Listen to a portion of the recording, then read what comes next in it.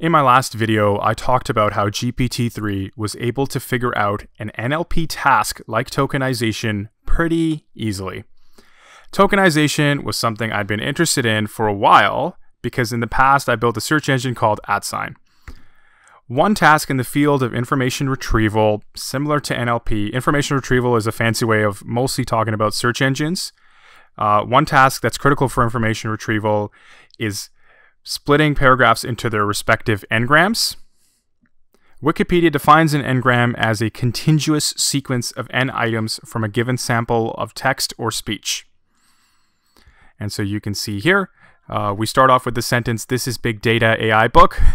And so the bigram takes, takes it and turns it into this is, is big, big data, data AI, AI book.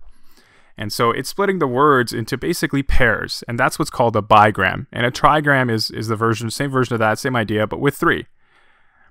Uh, splitting them, them up this way is critical for keyword based web search engines like AdSign or Google to help them better match users with keyword based results that match with their keyword based questions. Um, so you might enter a search as a bigram, and the results would need to also be bigram in order for you to get back results that actually match. Uh, because, for example, the keyword mobile, uh, that's one keyword, it will have different results. The bigram of mobile phone will have different results. Mobile phone is completely different set of results than mobile. So that's why it's important for search engines. That's why they need n-gram analysis. Uh, I found a really fast example a long time ago on Stack Overflow of how to do it, just with built-in Python functions. It seems pretty good to me.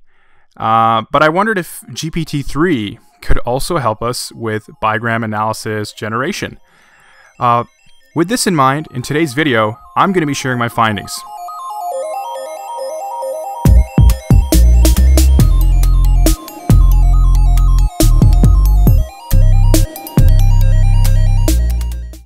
I started by using the same sentences like my last video, not a lot of originality here, and giving it a single example of the bigram generation task. Then I asked it to, to basically split up and generate the bigrams for the same very popular but also dramatic Drake lyric. So on the left is my example that I gave it, you know, God is great, I won a lottery. And below it under output, you can see that that's the n-gram, the bigram version of that sentence. On the right, I gave it the sentence, uh, Kiki, do you love me? And this is its attempt, keyword attempt, at trying to generate bigrams only with a single example. Now, not to be harsh, this is a pretty good single example, but I think GPT-3 and OpenAI, this is just another level. Sometimes I feel like I'm even too lazy to give it two, but this is what it is, even with one. Um, it's technically wrong. I think I was too optimistic. So I gave it a second example. I know, it's, it's so much work, right? And I tried again. Uh, so I just gave it the Kiki, do you love me example, the same one back to it. Uh, and then I asked it to split up the sentence, sure, breakfast is on you though. And sure enough, it worked. And notice too, uh, part of the challenge of uh, bigram analysis and developing these n-grams is typically you remove punctuation. And I never told GPT-3 uh, explicitly to remove punctuation, but notice it can tell just from my examples that punctuation should probably be removed. Again, it's just shocking how well it worked with only two examples. I then gave it a new, harder sentence just to be on the safe side, because I didn't want to just publish a video and say, wow, GPT-3 can do it, just right out of the box. Uh, and it didn't like it as much. Uh, I just randomly uh, found some phrase or some sentence or paragraph from a random article about Google about how they're getting rid of their don't be evil policy. And the output it gave me uh, was not good. And I suspected it's the same thing, I guess, as my last video, uh, where you see where it says don't be evil in, in the input we gave it. I think the quotes were really bothering it. And so I gave it one more example, just like the last video, and I showed it essentially how to escape the single quotes that are randomly in the sentence. Uh, and you can see in the output uh, that it it did a good job. Like it generally it, it handled the quoting the quotes well. Most of them are bigrams. However, I would give this uh, less of a high score because it did put in a trigram. Tri- trigram. You see where it says to the resignation. to the resignation, and also it left a period at the end for motto.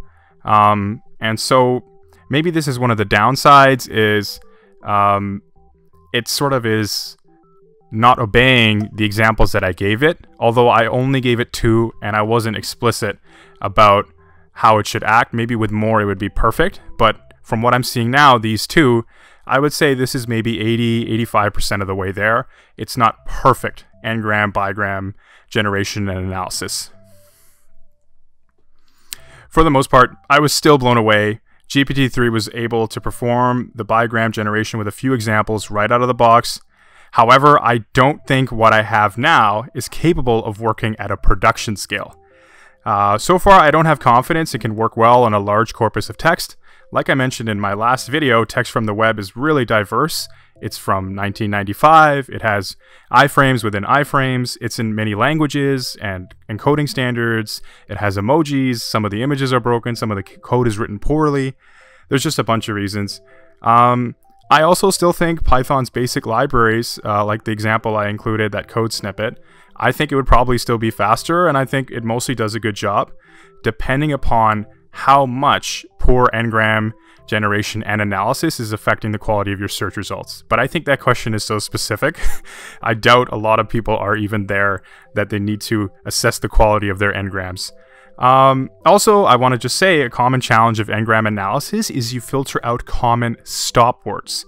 Stop words are words like the, and, should, to, and we're not doing that here. And I don't have confidence GPT-3 would be able to handle it reliably without at least a fair amount of examples, although I'd love to be proven wrong.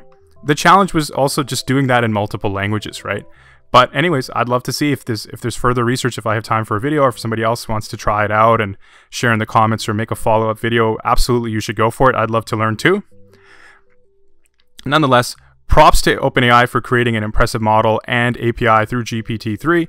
It's worth noting we might not even need n-grams in the future while building search engines and creating our search engine index because GPT-3 can already just take in data and answer natural language questions that users might have.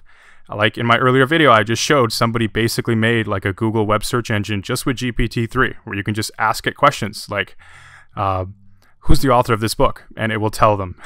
without, you know, any search index, without explicitly being trained to do that.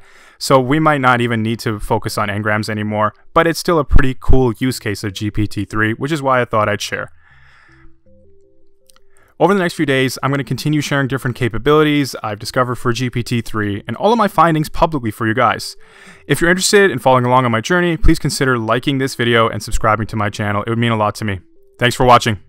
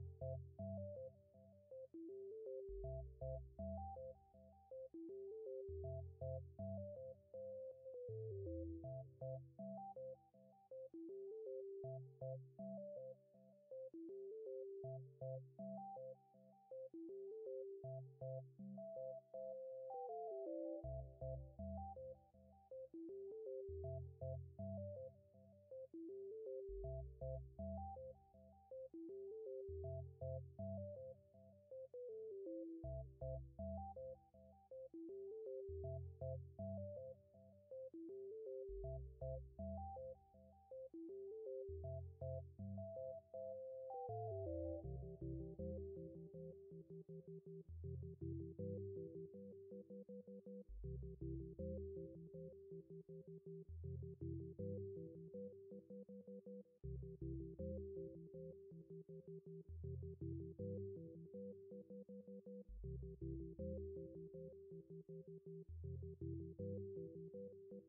you.